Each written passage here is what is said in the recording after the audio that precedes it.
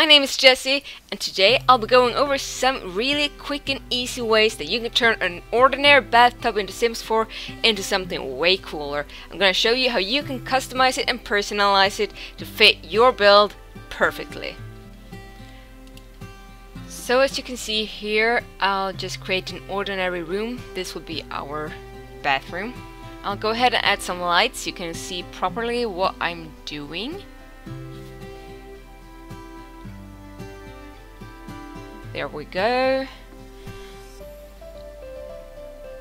What you're gonna want to do now is add these kind of two uh, smaller squares or cubes in the room. Uh, the bathtub will be going in between these two cubes. And now you're gonna go into the section for the half walls and choose the lowest version of the half walls and just kind of connect the two cubes. And I'll just add some wall paints quickly. So this is where the bathtub will go. The bathtub fits perfectly on these two squares and the half wall does not interfere with the bathtub in any way and your sim will be able to get in and out of the bathtub like normal. Oh, and before putting the bathtub in, you're gonna need to put the bb.move objects cheat in the box for it to function properly. Now I've gone ahead and kind of uh, pre-built some of the rooms that you saw in the intro with the decoration uh, and stuff around it. But it's really just the same kind of basic of the room like I showed just now. And so I add my desired um, texture to the wall, in this case the stone wall. I just shove my bathtub right in there.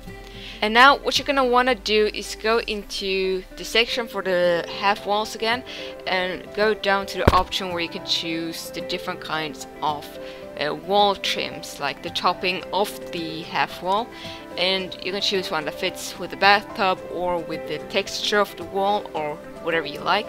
Here I'm going with the simple one that just kind of floats together with the bathtub.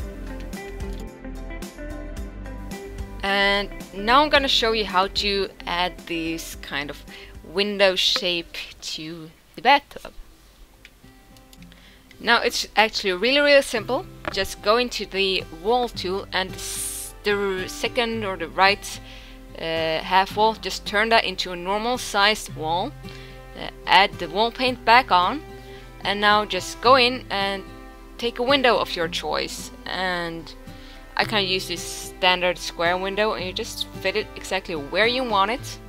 And it kind of turns into this really cool shower wall. Now we're gonna take it up a notch and we're gonna do this kind of window with a shelf on it. And this is actually the industrial window from Eco Lifestyle. And I absolutely love this use for it and can't believe I didn't think about this sooner. Now you're gonna do the same thing as we did before and just add a normal wall size to the uh, one part, to the part where you want the window. And you just choose your window, like in this case, the thick industrial one from Eco Lifestyle. Make sure you have the thick part uh, facing away from the bathtub and then just I choose the the flowers from Eco Lifestyle as well but you can just choose any kind of decoration item that you want.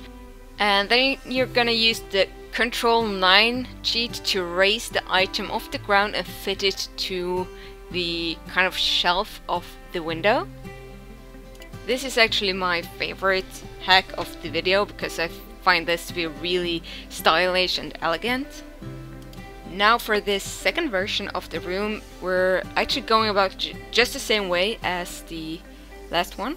I've already added the window and stuff because it's exactly the same as the previous one, just different colors. And I just place these kind of hanging plants using the Alt key to really fit it in perfectly and the kind of round stone flower arrangement from Eco lifestyle also fits in really nicely with the color scheme so I just wanted to include just like the last one just Control 9 to raise it up from the ground and fit it in. Now this last one is very simple because this is really just adding some beams to kind of uh, distinguish the wood part from the stone wall and just kind of add a bit of a frame around it. And that was pretty much it for this video. This is at least a few ways that you can change up the looks of the ordinary bathtubs in the game. And I hope you did like some of my ideas and let me know down below which one was your favorite. And if you like the video and like what I do, don't forget to like and subscribe and push the notification bell icon down below to get notified whenever I upload a new video. I'm thinking I'll be going over quite a few of these kinds of building hacks and uh, kind of turn it into a series because I really do enjoy doing this. I really do enjoy trying to come up with new ways of upcycling the existing items in the game without having to use custom content and download stuff like that. And yeah, thank you for watching and I'll hopefully see you in the future videos. Until next time.